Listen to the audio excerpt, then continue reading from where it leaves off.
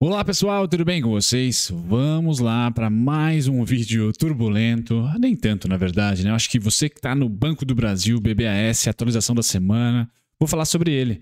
Vocês estão olhando aí Jornal dos Dividendos e nada de dividendos na telinha? Pessoal, tô pelado aqui, tô nulo, não tá rolando nenhum dividendo, o nome do canal não sobreviveria com conteúdo se dependesse dessa semana, né? Não temos dividendos datacorte, pelo menos interessante, empolgante aí para o curto prazo. Assim que tiver, eu vou rechear essa telinha. Por isso que os vídeos mais recentes eu tenho falado para vocês. Na descrição eu explico um pouquinho do fluxo estrangeiro, eu fiz o Ibovespa semanal, um vídeo que sempre vocês dão, dão bastante audiência para mim, né? Que é aquele vídeo de toda terça-feira antes de entrar ao vivo no YouTube, no, no Instagram, eu posto para vocês falando um pouquinho das principais ações que eu estou de olho para a semana, o relatório do scanner da bolsa, visão macro para a semana e também índice, dólar, inflação, juros. E eu falo sobre, sobre o fluxo estrangeiro nesse vídeo. Fiz ontem, dia 19, estou gravando para vocês dia 20 de outubro. Então vai estar tá na descrição, obviamente, né? Grátis, tá, pessoal? Tá no YouTube, beleza? Bom, feito isso, não temos agenda de dividendos. Aquele aquela imagem bem pequenininha que vocês estão vendo no celular, no canto esquerdo ali, é os setores, tá? Então eu falo também sobre a dança do dinheiro, os índices setoriais da bolsa, aonde que está sendo valorizado, aonde que está sendo desvalorizado, para onde o dinheiro está indo. Então o link do vídeo na descrição está bem interessante. A gente passa para o disclaimer, né, pessoal? Porque simplesmente não temos muita o que comentar aqui de dividendos. Vamos falar sobre BBAS, visão técnica. Então, oscilação para chuchu, volatilidade, vão para os gráficos. Eu fiz recentemente um vídeo mais fundamentalista do Banco do Brasil. Também vou tentar lembrar de deixar na descrição para vocês. Bom, Vamos lá. Esse é o gráfico, pessoal. Agora são 5 para as 10. Daqui a pouco vai abrir. Provavelmente, como eu tagarelo bastante enquanto eu falo aqui, o mercado vai estar tá abrindo.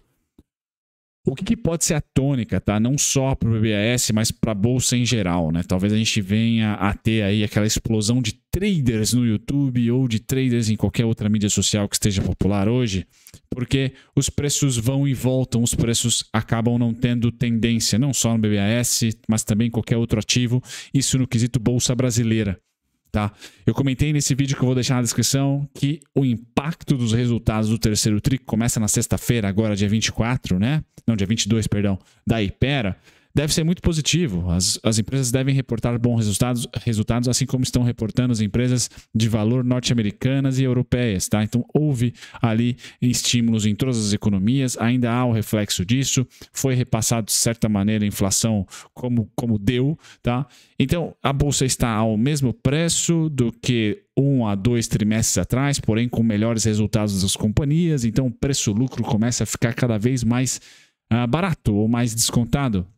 Não vai ser diferente tá, no Banco do Brasil e nos bancos, porque as provisões tendem a diminuir e ficar sempre de olho, pessoal. Banco no terceiro TRI, no quarto TRI e em 2022, seja privado ou seja banco público, olhar menos para as provisões, né, para os PDD, PDDs, né, e de fato para a inadimplência. Principalmente Banrisul, ABC, bancos que têm pequenos produtores ali gerando crédito, que geram crédito para pequenos produtores, por exemplo, é, tem que ficar de olho. O Banco do Brasil tem grande, é, assim como o BB Seguridade, né, tem grande participação no agro brasileiro, tá? deve estar de vento em polpa, então não deve ter um problema muito forte. Mas crise hídrica, estiagem, aquela coisa toda, sinistros uh, por vir, fiquem atentos, principalmente com o BBSE, tá? Uh, Banco do Brasil de, por tabela, sem dúvida nenhuma. Mas no quesito provisões, a gente deve ter uma diminuição, tá? O que vem dividendos por aí, por que não? Então vamos esperar que esse vídeo aqui, no futuro próximo, tenha dividendos sobre o Banco do Brasil. Tá? Na análise técnica, pessoal, então aquela memória que eu comentei com vocês no vídeo anterior, preço tem memória, né? Então a região difícil aqui para os vendidos vencerem, né? Estou falando da região dos 29,71, 29,31, 27,28, 2777, bom, tocamos lá e ficamos. Certo? Então os comprados voltaram, seja em 2018, seja em 2019, seja em 2020, seja em 2021. Tá? O que, que eu falo que os traders, falei no começo do vídeo que os traders vão ganhar protagonismo aqui no YouTube? Simplesmente porque o preço pode, de repente, voltar com muita facilidade aos 29, aos 27, certo? Então não há tendência. Se comprou março, em abril está 5%, 4%, às vezes 10% mais caro. Não. Em abril a gente apaga a tendência, Tá dando exemplo aqui de mês, está em, em novembro, por exemplo, comprou em outubro. Em novembro a gente apaga e parece que os preços estão no mesmo patamar. Então a gente está nessa fase de mercado aqui. Tá? Não é uma reversão de baixa ainda, tá? não é, mesmo com Selic em alta, inflação em alta e câmbio desvalorizado, não é uma tendência de baixa, mas a gente já começa a identificar, se você tiver uma ótica é, macro barra análise técnica, a gente já começa a identificar que há um equilíbrio. Tá? O mercado não quer sair do lugar. Tá? Se a gente olhar com lupa e apagar aqui os excessos, ou seja, sempre que a BBAS pós 2020, é bem importante, tá? Pós março, sempre que invadiu a região abaixo, tá? Dos 27 e 28, tá? O mercado falou: "Opa, volta. Opa, volta". Agora, no mesmo motivo de oscilação e cancelamento, tá? Está o 34 e 33. O mercado volta, ou seja, há equilíbrio não é sempre que nós temos desequilíbrio, ou seja, o mercado está com uma ótica nortista. Desequilíbrio significa tendência, tendência de alta para o norte. E nem sempre nós temos também ali pessimismo, pessimismo, pessimismo, vão para baixo, tá? Tendência de baixa. Então, neste momento, pessoal, trader se dá bem porque é fácil identificar visualmente, não precisa ser analista CNPI não, tá? Onde é compra e aonde, opa, eu não tenho amor nenhum pela companhia, aonde é venda. Tá? Então ele fica ganhando dinheiro no curto prazo, melhorando seu médio, se ele não se desfazer por um todo. Tá? Compra 30 ações aos 27, vende 10 aos 31, aos 34, depois compra de novo aos 29, aos 27, vende aos 31, aos 34. E ele vai fazendo esse jogo, pagando imposto, mas ganhando dinheiro. Tá? Então, trader consegue visualizar muito bem ganhar dinheiro em mercado sem tendência. Por isso que esse canal aqui sempre traz também a ótica técnica, porque pode ser interessante fazer rebalanceamento. Tem poucos traders aqui no canal, mais investidores. E faz rebalanceamento. Pô, o Banco do Brasil deu essa chance para você aqui nos 34, pum, vendeu e compra um uma Melius, que está caindo, fiz vídeo recentemente dela. Tá? Você vai rebalanceando sua carteira, sobrevivendo de maneira tranquila no mercado financeiro e tendo um plano que vai além do técnico. Lógico que no técnico você, eu estou falando para vocês aqui que visualmente fica fácil identificar quais são os excessos do mercado atual. Tudo que está para fora tá? dessas duas linhas horizontais. Excesso, excesso. Por enquanto a gente está no meio. Tá? Então o trader está ali, passando um friozinho na barriga ou preparando aqui mais compras e preparando vendas. Conseguiu vender aqui, tá? Agora a próxima venda é aqui. Tá bom? O meio é onde nós estamos, onde estamos agora, tá? É esse meio aqui, ó.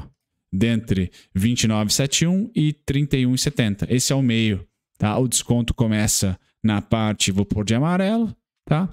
E eu, a, a fatura vem quando a gente vem no roxo aqui, ó. Vende no roxo. Então é isso que eu queria tra trazer para vocês, pessoal. Não é uma ótica apenas técnica, também tem um pouco de macro. Tem ali a, a contribuição de lucro, né? A, eu sempre esqueço, né? CSLL, tá? Até dezembro um pouquinho mais gordinha. Tem ainda o medo de inadimplência devido a toda a postergação, é a transferência das dívidas de, de 2020 para 2021, então passa do, um pouco do PDD, mas entra já em inadimplência, aqueles que não conseguiram pagar, vai ser de fato inadimplência, então tem que olhar como que isso vai se dar. Uh, se a gente vai ter mais geração de crédito no ano de eleição, dificilmente. Tá? Dificilmente. Até acho que pela Constituição a gente não pode tá? ter novos programas. Então, tudo vai depender até o dia do, do, do Natal, até o Papai Noel. Se algo sair de novo de Brasília, como programas sociais, como ou programas que não sejam sociais, mas sejam de desenvolvimento, infraestrutura, crédito, linhas de crédito, como a Caixa lançou, por exemplo, para o Casa Verde Amarela. Isso tem que acontecer até dezembro, tá bom? Para fomentar um mercado de crédito que pode beneficiar, de repente, o banco, pode postergar ali a inadimplência por mais um tempo, tá? Gerando balanços interessantes com PDDs menores, dividendos no radar. Essa visão macro ah, o meu cenário base é de que, pessoal, a gente não vai ter vida fácil ano que vem, principalmente para economia mista. Tá? Principalmente para Caixa, BB, AS, Sanepar, Copasa, Sabesp e todas as empresas que têm economia mista. Tá? Porque ano eleitoral, é, faz parte do jogo. Tá? Ano eleitoral dá para se ganhar dinheiro, na minha opinião, sendo consolidado trader, né? Vende resistência, compra suporte Isso pode ser por rebalanceamento, pode ser como trade total, né? Se desfaz totalmente do ativo.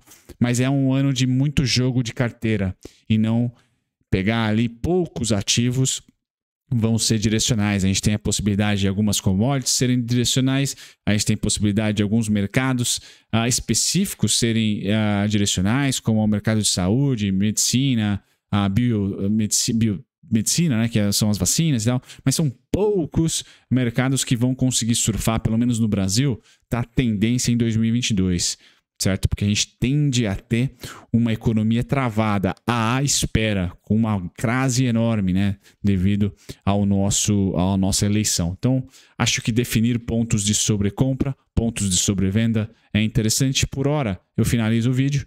Pessoal, o mercado, como eu falei, ia abrir, né? Falo pra caramba. Tá? O IFR ainda tem um respiro, tá? O IFR pode ajudar, se você não tem facilidade na ótica de gráfico, pessoal, esse indicador com os meus filtros, né? E, e, e, o, o relatório do scanner da bolsa tem esses filtros. Então, aqui sobrevenda, sobrecompra, sobrevenda, uh, sobrecompra, perdão, sobrevenda, sobrevenda, tá? Para identificar aonde que pode vir a ser boas compras e aonde que pode, ser, pode vir a ser boas uh, bom rebalanceamento, boa venda. Esse indicador em um cenário lateral, ele é rei. Tá? Ele é muito bom. E um cenário de tendência já tem que usar com bem mais parcimônia, tá? porque ele não vai funcionar muito bem. Tá? Posso trazer aqui um cenário de tendência, por exemplo.